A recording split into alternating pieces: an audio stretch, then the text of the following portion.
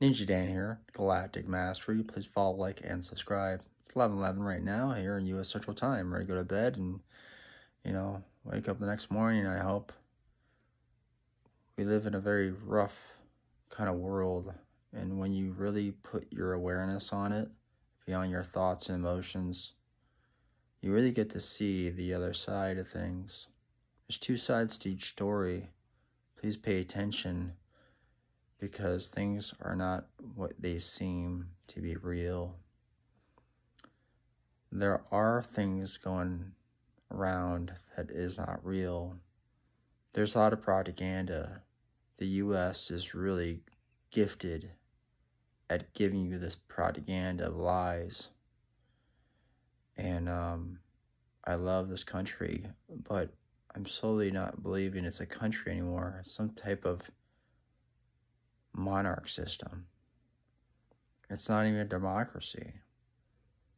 And then you realize that the world around you is is kind of like suckered into some monarch system of slavery.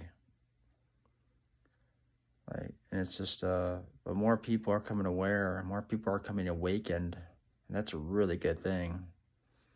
Really good thing, because those people have willpower to stand up for what they believe in in a loving, caring manner beyond hate and, you know, anger and just, just this gen genocide type mindset.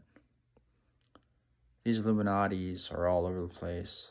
There's bloodline families that have been here for centuries. And they create all sorts of chaos, all sorts of fake wars. It's interesting that they'll get us all to believe these, you know, wars and atrocities that came from another country, another, you know, area.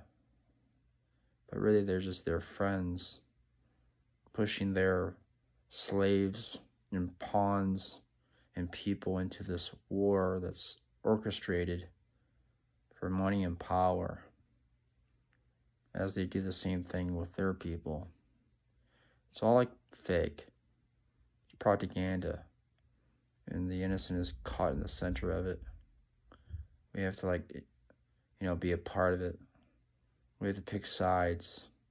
We have to be separated, live in bondage. It's all this crap that's given to us through perception and manifestation from these Illuminati families that control and govern us.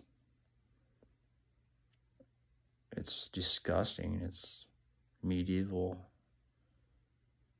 I thought we live in a modern society and we're kind of done with monarchs.